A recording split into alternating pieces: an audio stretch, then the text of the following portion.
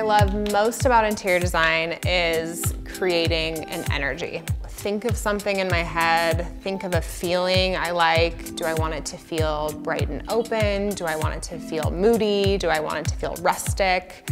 And interior design helps me to express that in a way that, you know, I've never been able to express myself.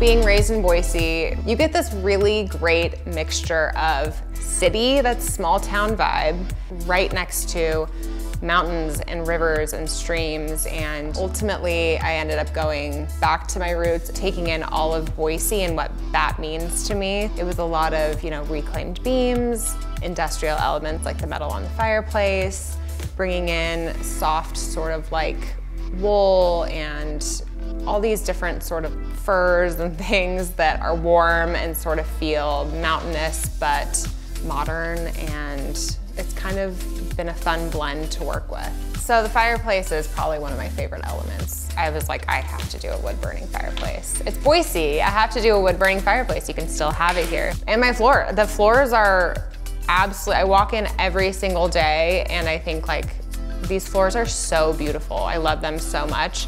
And I was really nervous about them with our two dogs, but they've performed really well and they look great. Kentwood, they're putting out a style that they like and I've always gravitated toward their product because of that reason. I mean, it's always fit really well with my style and that's really the first thing I look at when I select a house is the hardwood flooring. It touches the most parts of a house. Is it gonna pair well with the bathroom floor? Is it gonna look good with the kitchen cabinets? Is it gonna look good with the carpet on the stairs? Like, I've chosen them as just my sole hardwood provider at this point because I kept going back to their product. They have all the right tones and textures. Those are the things that I think about and so I always start my process with hardwood flooring and I always start with Kentwood.